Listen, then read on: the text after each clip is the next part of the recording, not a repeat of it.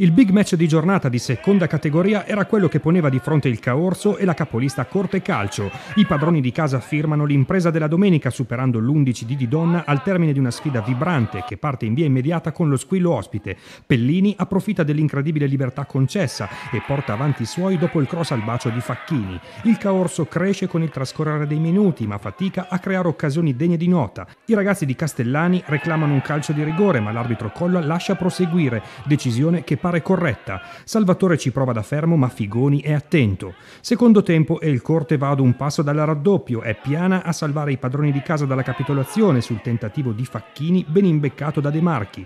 Ancora lui, Facchini, spreca tu per tu con il portiere di casa. Il Corte spinge, ma nel finale torna veemente la spinta caorsana. Al 69 ci prova Covelli, che non inquadra il bersaglio, ma al 73 ecco il pari. Salvatore inventa, Favari non sbaglia con il mancino ed è 1 a 1. I padroni di casa ci credono e come, e all'83esimo Gariglia apparecchia la tavola in piena area, Salvatore irrompe ed è sorpasso. Nel finale è arrembaggio bianco-rosso, ma il gol del pari ancora firma Pellini, arriva a gioco fermo con l'arbitro Colla attorniato dai giocatori maggiostrini imbufaliti. Nonostante la caduta, primato salvo, ma Caorso ha soli tre punti dalla battistrada con una gara in meno disputata.